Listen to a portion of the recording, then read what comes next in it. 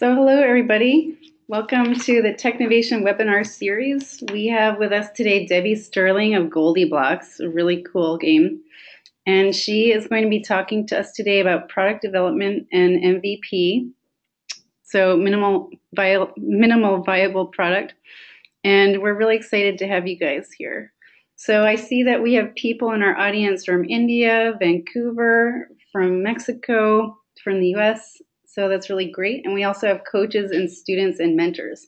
So we have a nice variety of people to talk and ask good questions later on. So um, Debbie Sterling, who I'll just introduce briefly, is the co- the founder and CEO of GoldieBlox, which is an award-winning company on a mission to disrupt the pink aisle with toys, games, and media for girls. And so you know who I am. I'm your co host. My name is Amy Gardner, and I'm the Techno- Technovation Director of Curriculum. And I'm really excited to have Debbie Sterling here. So, to give you guys just a little bit of background about Debbie, she's an engineer, an entrepreneur, and one of the leaders in the movement toward getting girls interested in science, tech, engineering, and math. She was named Times Person of the Moment, Business Insider's 30 Women Who Are Changing the World, and was recently added to Fortune magazine's 40 Under 40 list. So it's a lot of numbers. In early 2015, she was inducted as a presidential ambassador for global entrepreneurship and honored by the National Women's History Museum with a Living Legacy Award for her work to empower girls around the world. Debbie received her degree in engineering at Stanford in 20, 2005. So, for those of you who might be unfamiliar, uh, GoldieBlox has been selling a series of construction sets designed to appeal to girls' interests and help them build machines that move and spin. There's also an iOS app called GoldieBlox on the Movie Machine, which works as a way to engage with the GoldieBlox brand as a standalone experience, but also ties in with the company's physical toys by allowing kids to create 12 frame animated GIFs, print out their animations and other creations, and then use those cards along with the real world toys. So Debbie's with us today, and she's going to give us the kind of inside scoop on what inspired her to create GoldieBlox, what the product development process was like for her. She's even shared some of her prototype images with us, so that's pretty great. And then she'll talk about minimum viable product, or MVP, as we might be calling it.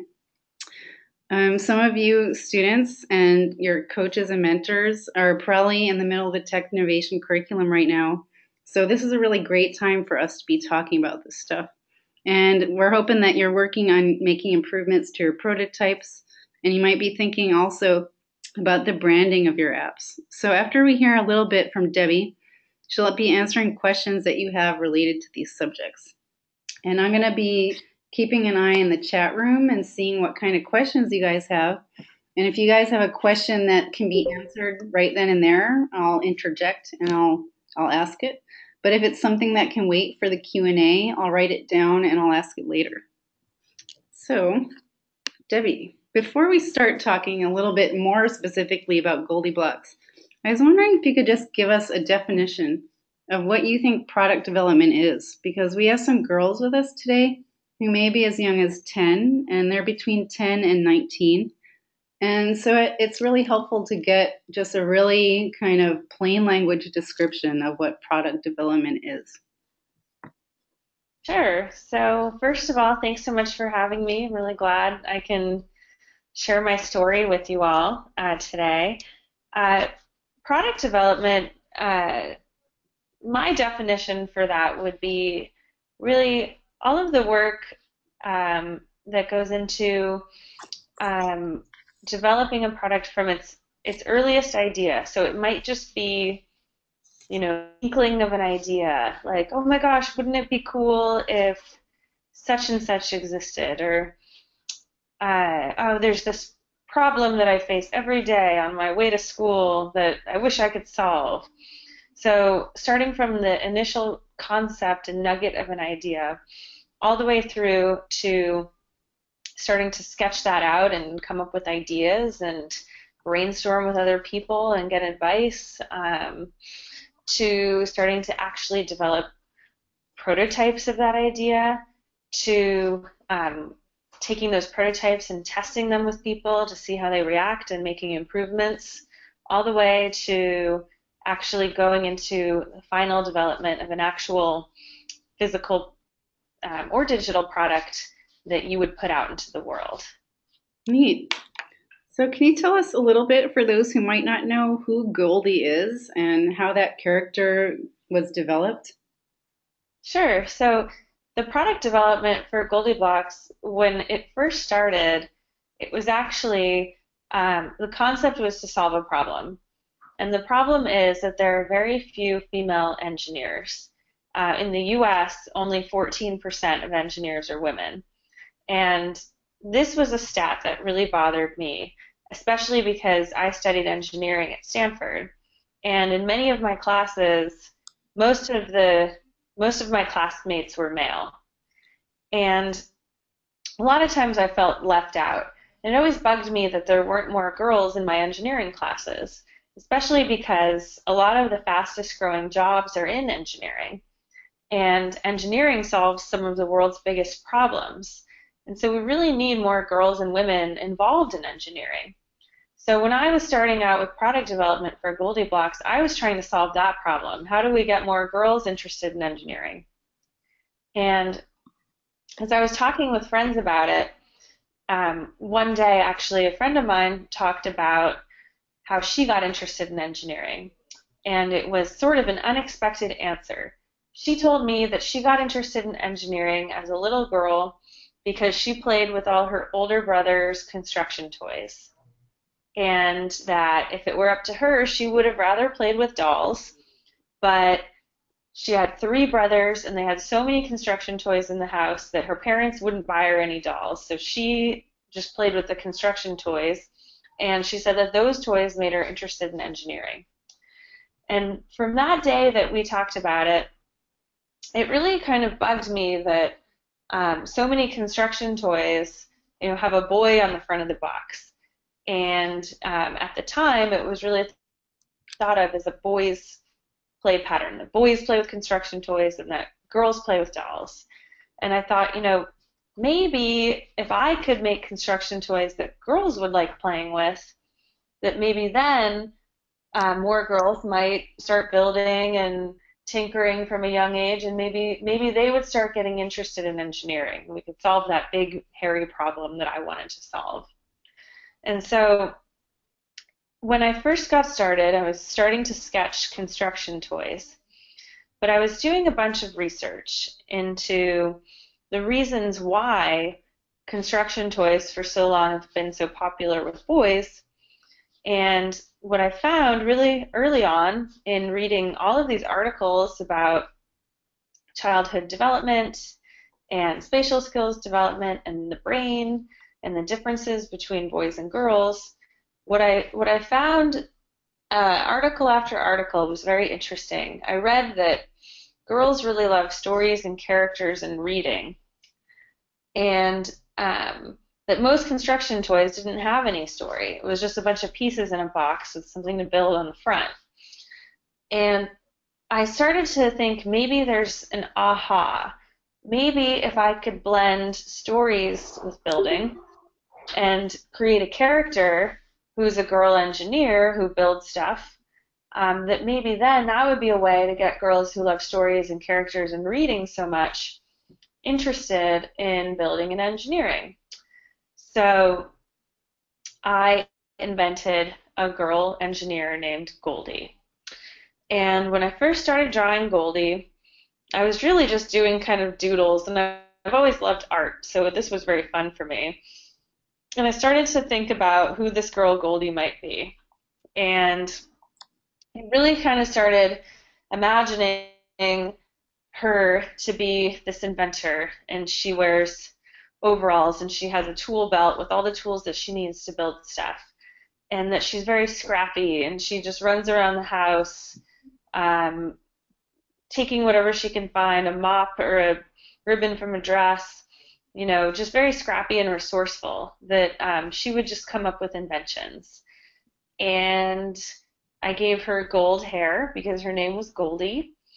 And, you know, I just started drawing pictures of this girl and that was that was really how it started was um, drawing these pictures and writing stories about what would Goldie build and what kind of problems would she solve and how would she help her friends.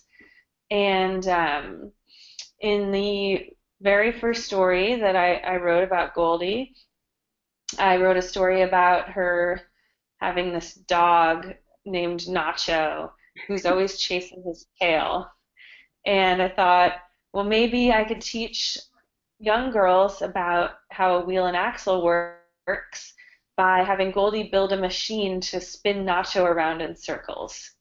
so it was just a silly, simple little story, but I thought it was fun, and I thought it could just like it could be like a fun reason to learn about and build a wheel and axle.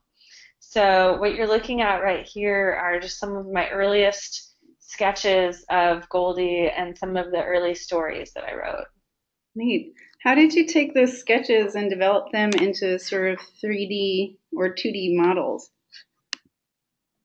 So, um, so the next step was um, the process that I call, or that is called rapid prototyping. So, writing and drawing the stories was a lot of work, but you know, it was really just me drawing with pencil on paper. And um, but but then I needed to take the story and also have the invention of what Goldie builds. And so I needed a little dog character. I needed a Nacho. And, um, you know, I didn't really have much money at the time to do this. So I just made a little Nacho out of clay. Um, I don't know if you can see there, there's like a little brown and white clay figurine that I just baked in the oven, and suddenly I had a nacho. And I had other little characters too. I had a little uh, teddy bear, I had Goldie. Um, you can see Goldie there with the blonde hair and a little baby and a little doll and a bird. And in, in yellow, you can see I was prototyping some cranks. And this was very um, very quick, very easy for me to just um, start sculpting myself and just getting something that I can put in front of kids because what I wanted to do was test if kids could read the story and follow along and build along with Goldie. Neat. I also saw that. Um, oh, yeah? Oh, no, go ahead. Oh, no, I was just really interested in some of the research you might have done to make some of the pieces in the next yeah. year. So then um, I wanted Goldie, uh, the character, again, I wanted the idea of just taking what you have around the house and using it to build a machine. And so one of the ideas that I had was, well, if I want to make um, nachos spin around in circles, I need a wheel. And I got like really interested in hair curlers um, because I have very curly hair. And I thought that'd be like kind of a funny thing to go grab from the house and use as a wheel to build something. So I I did a ton of research into hair curlers and the whole evolution of hair curler design and I was you know it's like the hair curlers on the left you can see there's two different kinds one that had holes going through and one that had spikes um, and like you know different widths and um, and uh, different lengths and and so I actually went. Um, I would I would go out to um, flea markets or um, you know different uh, different used clothing, uh, Goodwill kinds of stores, and just try to get as many hair curlers as I could. Um, which most of them I could just get for free because nobody really wants hair curlers anymore. So I was able to just start taking hair curlers and playing with them and experimenting with them. Um, and that was my early prototyping to have a wheel. Neat. I'm wondering if you could talk a little bit about minimum viable product because some of the students are going to be working on apps and if they have so many features in their apps, um, it might detract from the kind of mission of the app. And I'm wondering if during your process of prototyping, you discovered that having fewer things might have been helpful or what is you know the bare minimum and ha- what does that have to do with the whole process yeah no that's good so minimum viable product um, is really important and i use that methodology for GoldieBlox um, because at the beginning when i was first starting i had so many ideas i actually thought you know i wanted it to be an app and a book and I wanted to have Goldie as a, a figurine, like an, a, an action figure. And I wanted to have like all these different characters, and I wanted the book to be a flip book um, so that you could put it on the table and it would be easy to follow along. So there were all of these things that I wanted. But then when I got started creating it, I realized that there were a lot of limitations. And um, and ultimately, I had to put out a product that I could sell, um, which I actually launched it on Kickstarter. But I needed to narrow down and just come up with what key features were just must have. Mm-hmm. And I had to put some of the other features that I wanted sort of on the back burner because, you know, if I tried to fit everything and get it to be perfect, um, it was either A, going to be too expensive, or B, going to take way too long and I didn't have enough time. So if you look at these pictures, these are some of my early prototypes where I was getting toward the path of a minimum viable product. So the one actually on the right um, is one of my first prototypes. And in this one, I was testing the idea of kind of this, you read book and you build along uh, um, as you read. And so I had built this frame that you would put the book inside, and that along the story, Goldie would be spinning her characters on these wheels, and you would uh, thread the ribbon across the page and see how different things spin. And um, and this one I was really excited about because I thought it was such a great idea. And then I tested it, started testing it um, on kids, and right away I noticed the same thing happen over and over again, which was the kid would build along with the instructions, and then they would want to turn the page. And they would say, Well, what do I do now? And I would say, Well, you have to take it apart so that you can turn the page. And that was very frustrating because they had spent all this time putting the putting the contraption together. They didn't want to take it apart. And so um, that was a really great learning. And I knew that that was you know something that couldn't go in the final product because everyone was getting so frustrated. So I moved to the version on the left where I took the book separate and I created a play board, a pegboard where all the building would happen. So that was an early on big change I made. Oh. Um, and then moving on to the next slide, this is sort of like showing the evolution. Um, once I had changed the board, uh, I started going into um, and I knew that that worked, and having the story separate was really great. Um, I moved into going into manufacturing, and that process was a big one because this was when I learned all of the limitations that there actually were. And the board that I created, which was a blend of foam and plastic, um, each hole had to fit the little axles perfectly.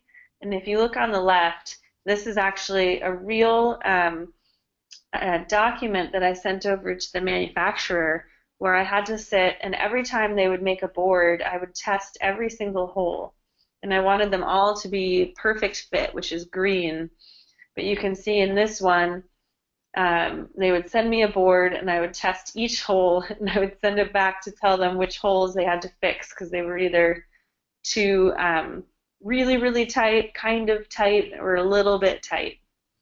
Um, so you can see there's a lot of back and forth that needed to happen, but the minimum viable product, um, at a minimum, all of the holes had to be the best fit.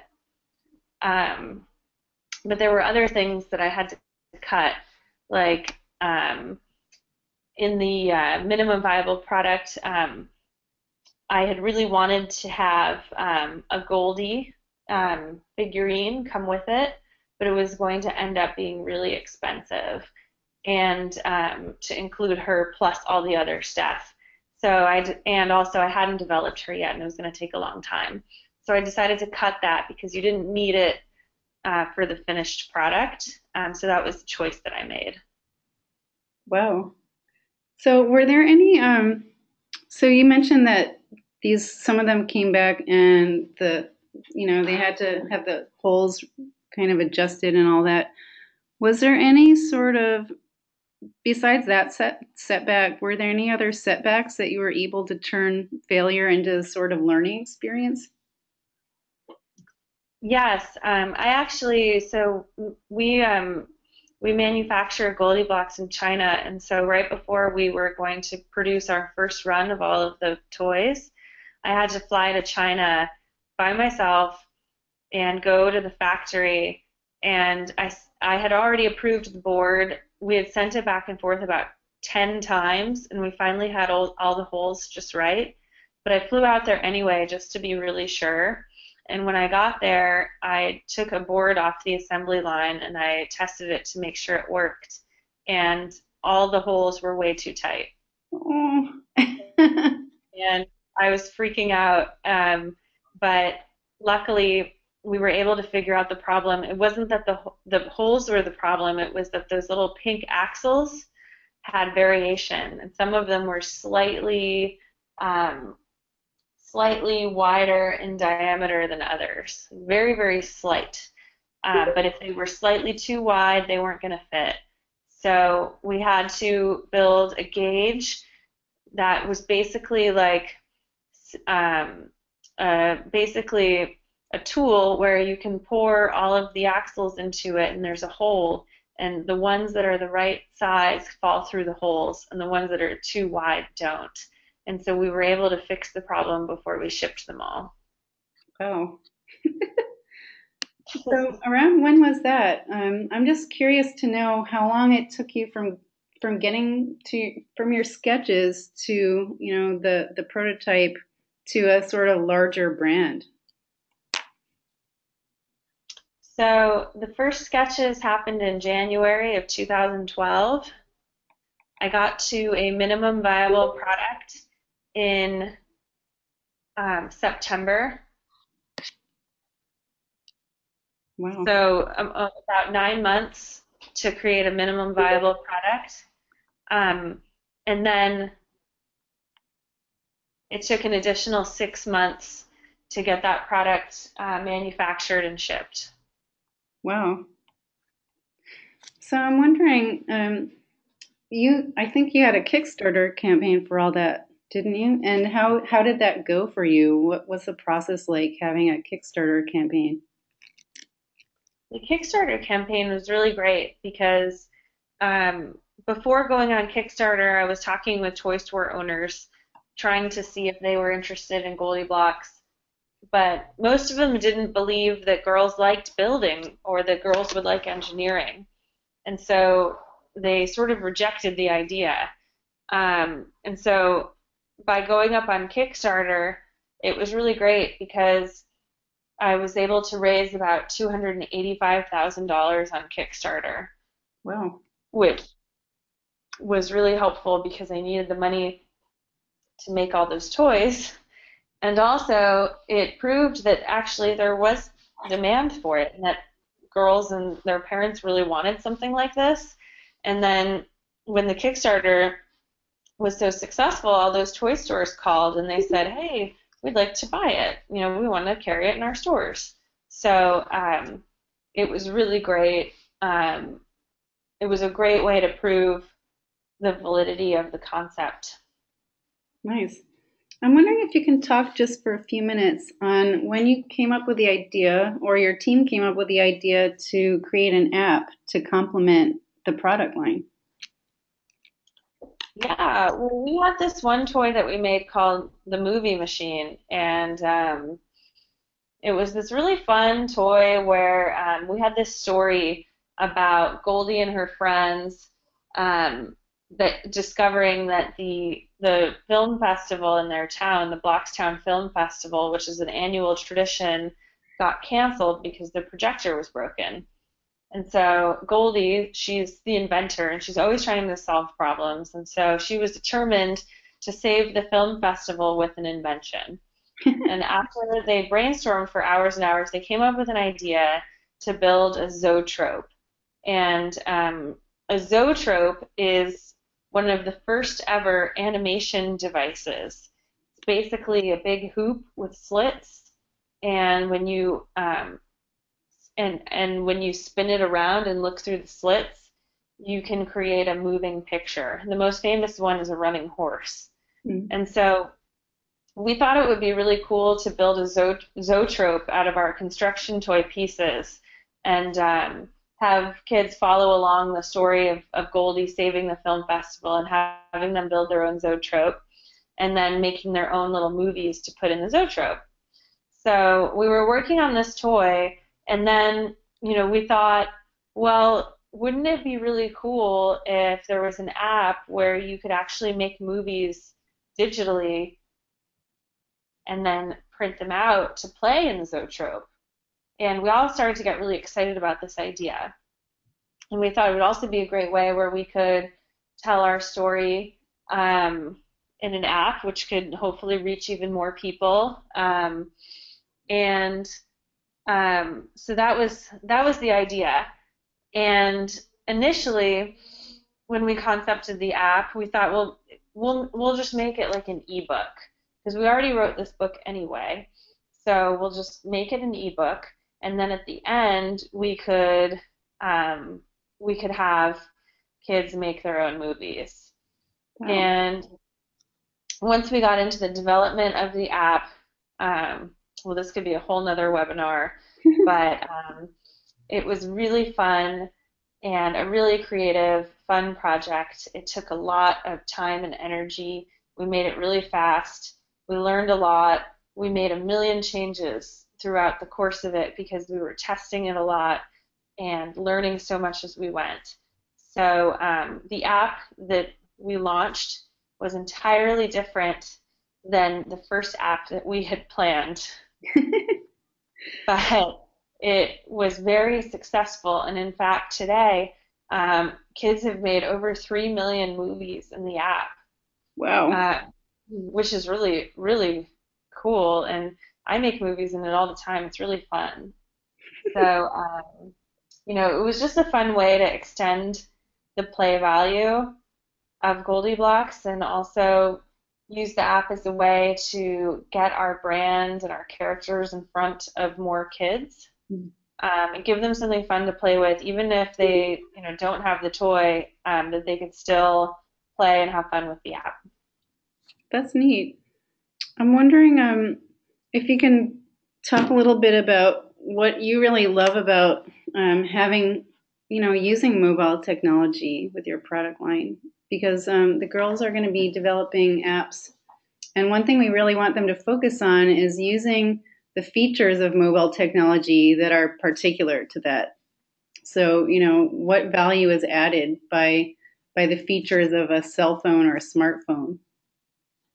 Yeah, well, um, we really thought a lot about that when we made this app because we already had a really fun tactile building experience, but what it didn't have was, um, you know, we could we could have um, kids draw with pencil and paper movies to put into their zoetrope, but the mobile technology has a camera that you can use. Mm. And so we wanted to take advantage of that. So we actually incorporated a photo tool where you could make photo movies if you wanted.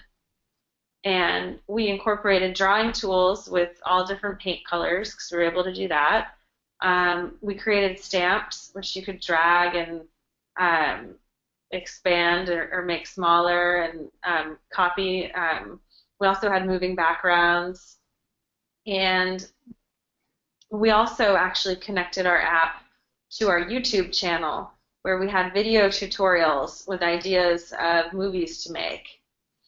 Um, we also incorporated sound because we could use sound in the app. And so I don't know if anyone's ever seen the show Mythbusters, but we actually got Kari Byron from Mythbusters to be the voice for our tutorials in the app. Neat. So there were just all these great things that we were able to do digitally that we just couldn't do in the toy, and we really wanted to take advantage of that. That's really neat. So I only have one last question for you, and then I'm going to open it up to our audience. And if you had any piece of advice to give, you know, a younger family member, say, or someone you care about who's a girl who wants to become an entrepreneur or work in the tech industry, what is that advice? My advice would just be to um, to not be afraid to share your ideas with people and get feedback. I think um, I think that when I was starting out at the beginning, sometimes I was afraid to tell people my ideas, or I felt like I needed to do it all by myself. And it's just not true. I think the more that you get an idea down, even if you have an idea for an app and you don't totally know how to how to build it yet, maybe you're still learning how to code, you can just draw a picture of your idea on a piece of paper and you can show it to somebody and you can get feedback. So um, I just think to not be intimidated, to be open to talking with other people, asking for advice, getting help, don't be shy. That's really the key, I think, to being successful in this field. And I would in, really encourage girls to, to do it because we need more girls in it, and girls are completely capable and, and they have different, sometimes very different ideas that are that are really needed. Um, so so don't be intimidated. Go for it, and always raise your hand if you don't know. Um, because the worst thing you can do is be embarrassed, not admit if you don't know something. Don't be embarrassed. One of the questions that just came in is how did you build relationships in a male dominated profession? Um, you know, I think I think um, the biggest mistake that that you can make sometimes is um, trying to act like somebody you're not in order to try and fit in. I think um, just being yourself is really important, and um, and also trying to um, trying to find common ground. So finding things that you have in common. Um, you know, I'm not I'm not really much into sports or anything like that, but a lot of the men in my field, I find something that we both like, whether it's a TV show or movie that we both like, or maybe we're both interested in the same political candidate. Like I, I always try to spend time to get to know anyone who I work with, um, whether it's male or female, and not feeling like, oh no, it's going to be all men, so I'm not going to fit in. Just figuring out ways to fit in while still being myself. I'm wondering if there's anyone, if there are any examples of women in your family who who are working in tech or or in the art fields, and you know, if you've thought over time how much different your experience is to theirs. Well, my grandmother was actually an animator for Disney, and um, she was uh, one of the creators of Mr. Magoo and which I don't know if anybody, probably all the girls on this are too young to know who that is. He was uh, a very famous cartoon character, and um, she also worked on Charlie Brown's Christmas, which maybe some of you have seen.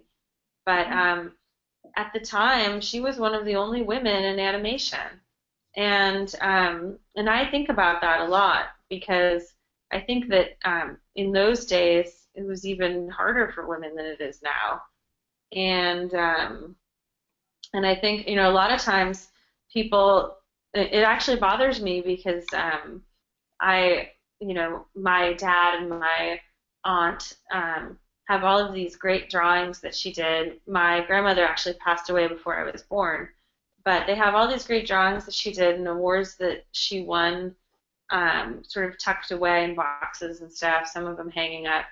And um, people have come up to me and said, oh, well, your grandmother didn't create Mr. Magoo because I don't find it online. I searched it online and I don't see that. And, you know, it, it bugs me because I'm like, do you really think that women in those days got credit for what they invented?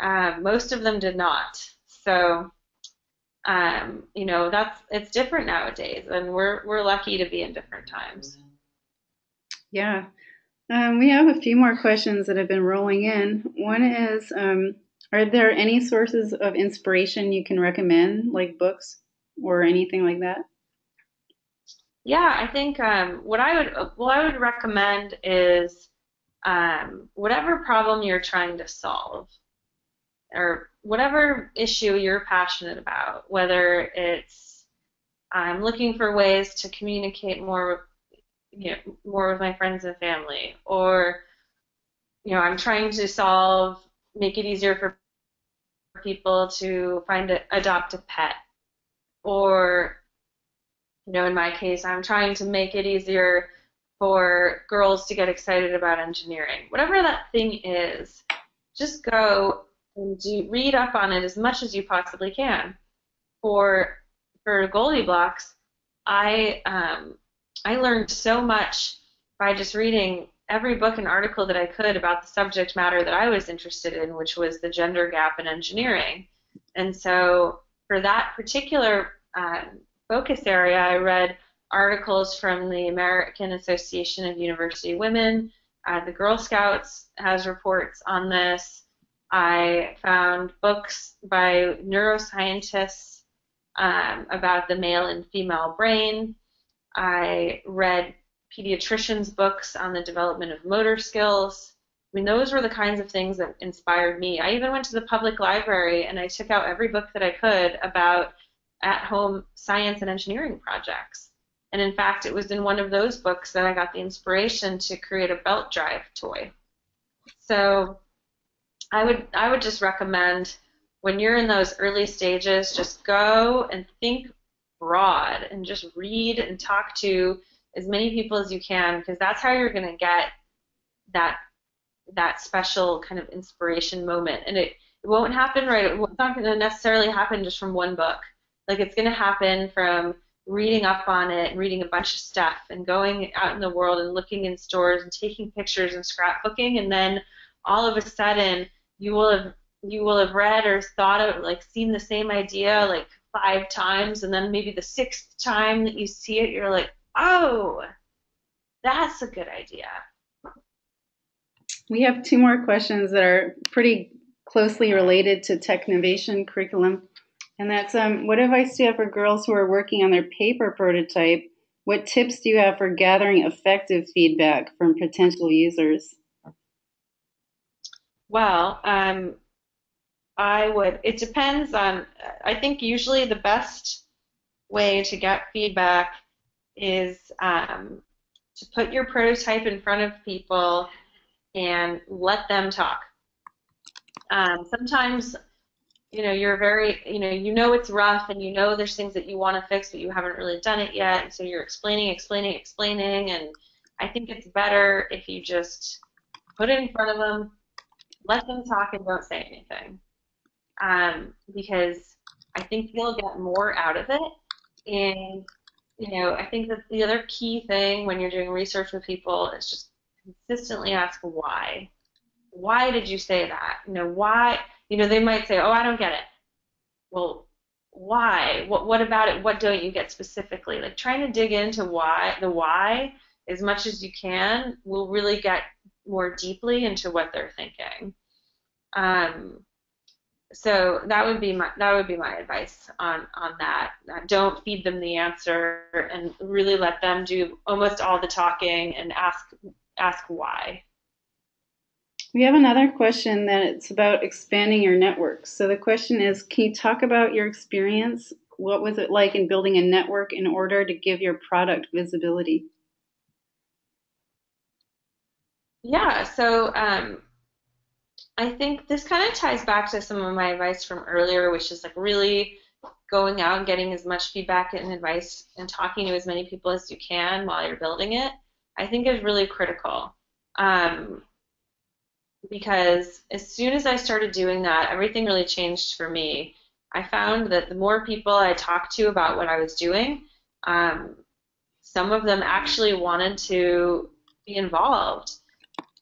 And I ended up actually finding people who volunteered their time to um, conduct research with me.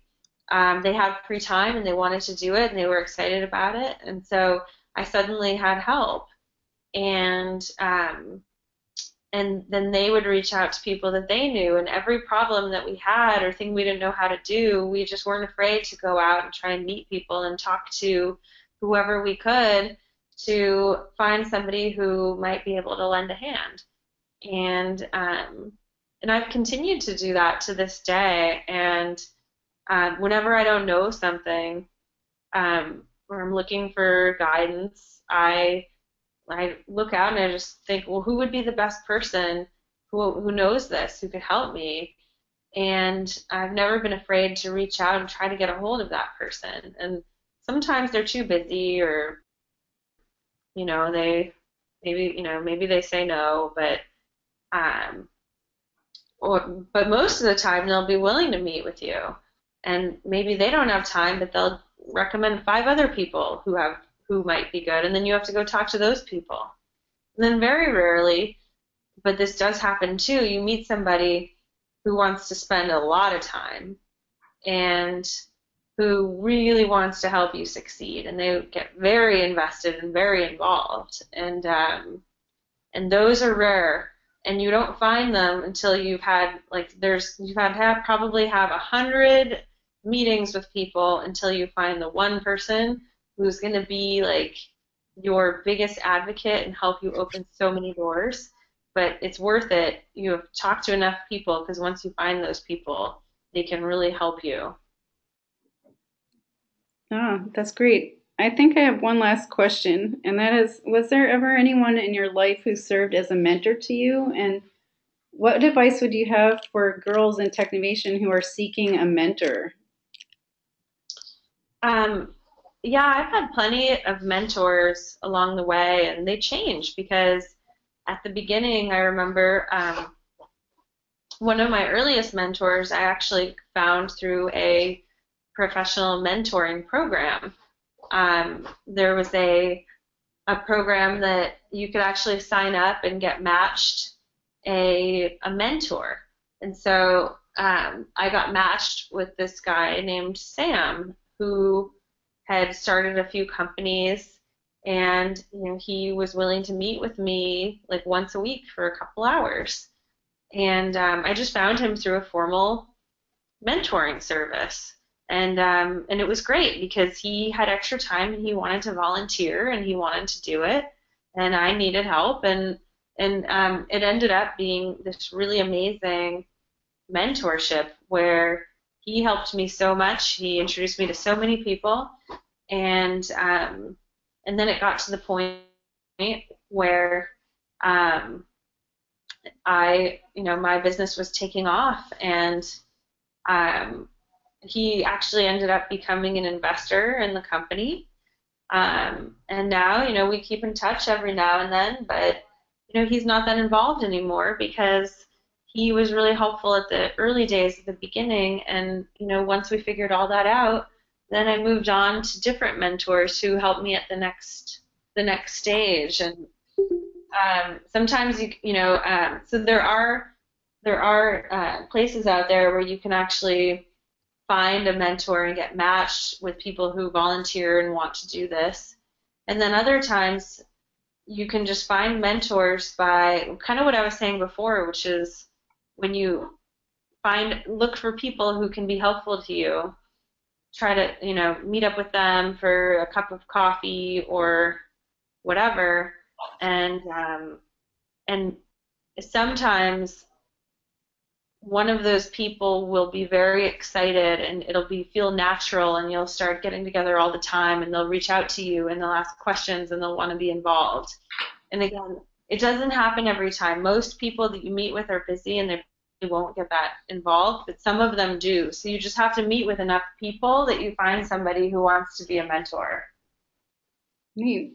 Well, I'm going to echo what pretty much everyone is saying in the chat room, and thank you so much for your time. This has been pretty brilliant.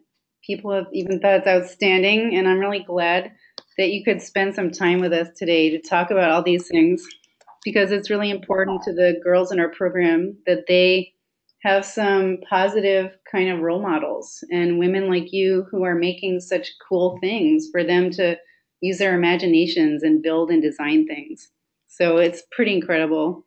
Um, so a huge thank you to you, Debbie. And for all the rest of you who are listening and still here, I'm going to be sending out an email with a recording link to this whole webinar. And if you check the materials section in your control panel, you can also get the, the presentation here. And if this webinar was helpful as the one prior, I'd love for you guys to come back and join us for the next few ones. Um, we do have one in about a couple of weeks. with Ava Ho, who's on the board here at Iridescent, and she's going to be talking about revenue models. So that's where you guys should probably be in the curriculum at that point. And you can find out information about that on the Technovation website. And I just want to reiterate our thanks big time for coming. Yeah, no, I'm I'm uh, I'm glad that it uh, was helpful. So thanks so much for having me. All right. Good luck to everybody. Thank you so much. Bye bye. Okay. Bye.